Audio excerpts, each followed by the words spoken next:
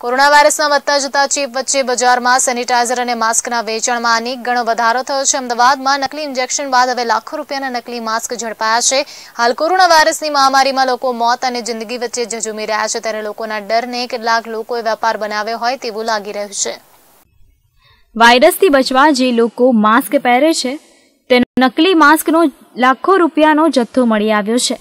પીસીબીને જાણકારી મળી હતી કે સોનીની ચાલી પાસે આવેલા સુમેલ બિઝનેસ પાર્ક ત્રણમાં એમ આઠ હજાર બસો દસ કંપનીના એન નાઇન્ટી ફાઇવના નકલી માસ્ક વેચાતા હોવાનું જાણવા મળ્યું હતું, જેના આધારે કંપનીના માણસો સાથે રેડ કરી હતી, જેમાં ત્રણસો નવ નંબરની દુકાનમાંથી કંપનીના નકલી માસ્ક કબજે કર્યા હતા.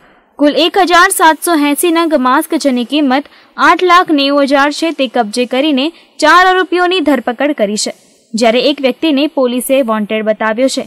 તમામ આરોપીઓ સામે વિરુદ્ધ છેતરપિંડી અને કોપીરાઇટનો ગુનો નોંધીને કાર્યવાહી શરૂ કરવામાં આવી છે. Bureau report, live Gujarat news, Ahmedabad.